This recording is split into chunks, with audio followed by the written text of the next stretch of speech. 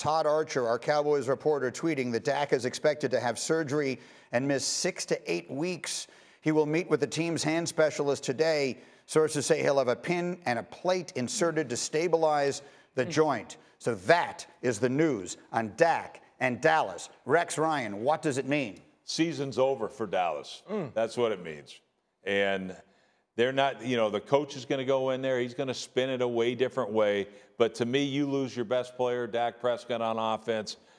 There's no way in hell. Look, it, it was a struggle anyway. Mm-hmm. The pass protection, the lack of weapons, and now you lose Dak Prescott. Nah, I'm done. RC, what do you think?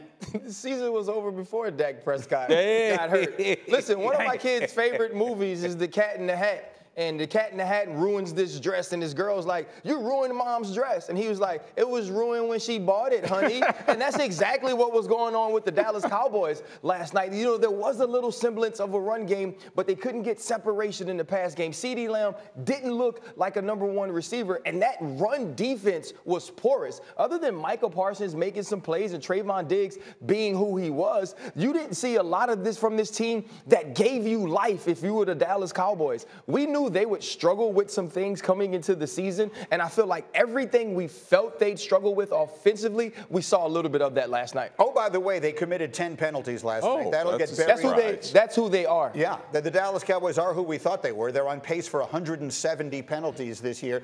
Dan, but let's let, let's let's focus on Dak for a minute because everything is obviously obscured by that. What? Trade for Tyler Huntley. If, that, if I was the Dallas Cowboys, that would be the phone call I would make. It would not be to San Francisco for Jimmy Garoppolo.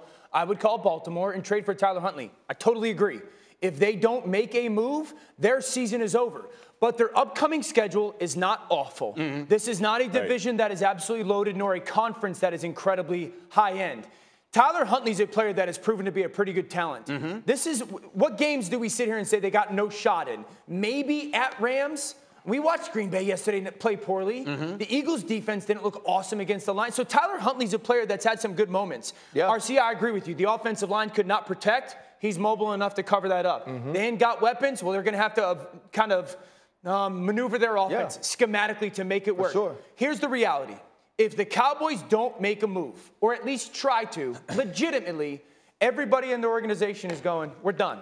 Hey, Micah Parsons, don't matter. Yep. Marcus Lawrence, don't matter. CeeDee Lamb, don't matter. We're done.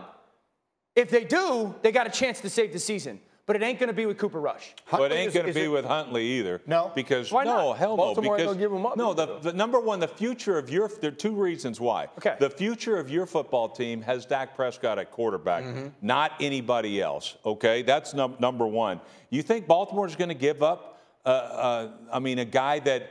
Could be the future of their football team down the road. No chance. What- but and, what and what are you going to? You're going to mortgage your future to get a backup quarterback. Because it's going to it's going to cost you at least two first round picks. It ain't going to happen. I- I'm not aware of what, it, what it's going to cost them. I don't uh, think it costs you two first round Oh. picks. And I get your Baltimore point, but here's the, the, the grim reality. This is the second injury that's going to take a chunk of season time away from Dak Prescott in three years. Mm-hmm. So at, at some point, the Cowboys organization has to look at it as a whole and say, dang, our starter's been down two out of the last three years. We have to do something to somewhat try to save this season because we'll send a message to our locker room that we don't care. And we got to start to prepare to have a better situation for the future. That's the the second one is more important to me though. Have a better situation for the future. So where we want we aren't sitting here Monday morning when Dak Prescott gets hurt and say that there's no way that they can win. Even with seeing what Cooper Rush was able to do last year against Minnesota, Right. you're not expecting that week in and week out. Not with this roster. especially with the deficiencies Right. on this Right. offense already. Exactly. They do have to make a move, and Jerry has to be aggressive in making a move so the locker room knows he believes in this roster as long as they have somebody that can play quarterback. Exactly. Thank you for watching E ESPN on YouTube. For live streaming sports and premium content, subscribe to E ESPN Plus.